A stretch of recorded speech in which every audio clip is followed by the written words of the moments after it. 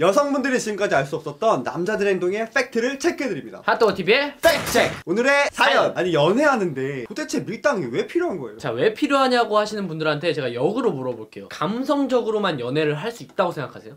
감성적으로만 연애를 하게 된다면 화나면 화나는 감정 그대로 때리고 부시고 데이트하다 열받는다고 그냥 집에 가버릴 수가 있어요. 그리고 좋으면 길거리에서 스킨십이란 스킨십 다 때리고 직장까지 따라가고 스토킹하고 이렇게 되는 거 아니겠어요? 이게 둘의 관계에 있어서 좋지 않은 행동이라는 이성적 사고를 하고 자제하기 때문에 잘 만날 수 있는 거잖아요. 연애는 이렇게 감성과 이성이 적절한 조화를 이뤄야 올바른 연인 관계가 형성될 수 있고 유지가 될 수 있는 것 같아요. 나랑 만나고 있는 남자친구가 혹은 여자친구가 내가 좋아하는 만큼 똑같이 날 좋아해 준다면 얼마나 좋겠어요. 근데 그게 말처럼 쉽나요? 안 쉬워요. 그건 거의 불가능한 일이에요. 그 서로의 좋아하는 마음의 격차를 조절하는 것이 밀당이고 그 밀당은 연인 관계에서 필요한 것 같아요. 막 온갖 안 되는 머리 굴려가면서 카톡 답장 3분 늦게 하고 전화 오면은 막 다섯 번 울릴 때까지 안 받고 이런 게 밀당이 아니라고요. 내가 상대방을 더 좋아하는 것 같다는 생각이 들면 그 상황을 최대한 이성적으로 바라보고 기다려주는 것 그리고 그런 상대방의 마음을 배려해주는 것이 밀당이라는 거예요. 이런 밀당이 없다면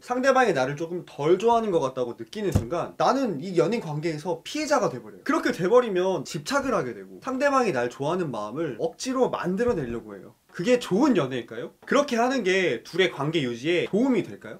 아니에요. 오히려 상대방과 나를 지치게 만들 겁니다. 내가 상대방을 더 좋아하는 것 같으면 밀당을 하세요. 자, 그래서 다음 편에는 그 밀당이 정확히 어떤 마음이고 어떻게 해야 되는 건지 저희 생각을 말씀드리겠습니다. 이건 팩트입니다.